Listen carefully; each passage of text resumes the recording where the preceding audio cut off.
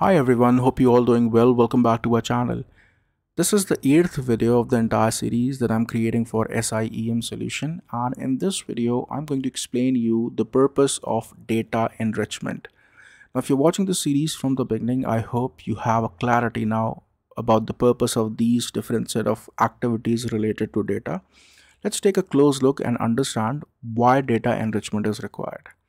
Now, data enrichment in the easiest or simplest way is adding additional information related to entities involved in a specific incident altogether. And the data enrichment can be of any sort. It can be details related to identity, termed as identity enrichment. It can be details related to endpoint, which can be endpoint state enrichment. And I'll get to these in a lot more detail. So imagine a scenario where you are getting alerts from multiple solutions and then with effective data correlation you combine them into an incident altogether. And in a typical SIEM solution when it comes to a security incident console itself where you go ahead and see the details related to incident these are five set of common informations which will be there for sure. The very first one is incident timeline. I mean when exactly everything got started then detection sources the list of the solutions uh, on behalf of which an incident is created and then incident or alert definition likewise brute force attempt or like let's say in this case since multiple solutions are involved it can be a multi-stage attack. And then the most important aspect is the listing of entities. So if your solution is generating incidents and alert and the entity tab or let's say the actual tab which shows you the users devices and ips it's blank. Then you are not in the right direction. That's the very first thing that you should keep in mind. So every incident and every alert that is getting generated you should configure your SIEM solution in a way or you should define the mapping in such a way that all for each and every incident there has to be an entity which is involved. Okay? And lastly it will show you the incident ownership data. So just assume that this is the default console of your SIEM solution. The very first section is the unique ID for the incident itself. Then you know who owns that particular incident, the actual SOC analyst. This left section is kind of similar alerts. And this is the most important part, which is the entities where you will be performing data enrichment. Now assume I am the SOC analyst and I own this particular incident. The moment I see this incident, I will log to some TI solution and I will go ahead and check the risk of these IPs. Okay. And let's say I found one of the IP as risky IP. So in this case, I'll go ahead and contact the network team and they'll get this IP blocked for internal network. A very uh, naive example or a very basic example to be very precise, but but this being said, this is how it works in a nutshell, okay? Now, what if I can build a process wherein I can already enrich this console itself or let's say some other tab or some other section on the incident itself and I can say that the moment as a SOC analyst I will open this incident. Now this is my default view. I mean the moment I'll look at the incident I'll come to know that these are the IPs which are involved out of which this one is risky IP okay.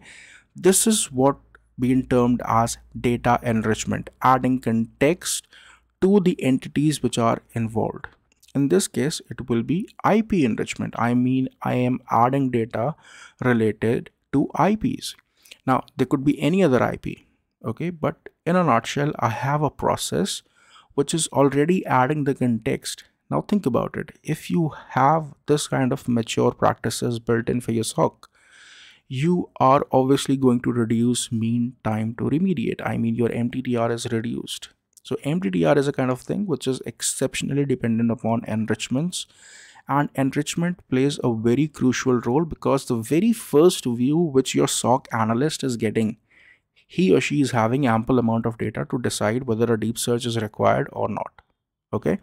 Now this process that I was explaining for IP, practically speaking it can be done for any entity type right this process can be done for any entity type whenever there is an incident which is triggered with the help of automation it will go ahead and check the risk associated with my user object let's say in this case and let's say if user a was found to be risky then the SOC analyst or the admin can just request the user to get the password reset. I mean, any process that you want to follow. Similarly, this can also be done for devices, which means whenever there will be an incident that involves devices, I will go ahead or let's say I will develop a process that will go ahead and check the state of these devices in my endpoint protection solution. And if any of these device was found risky a comment will be added.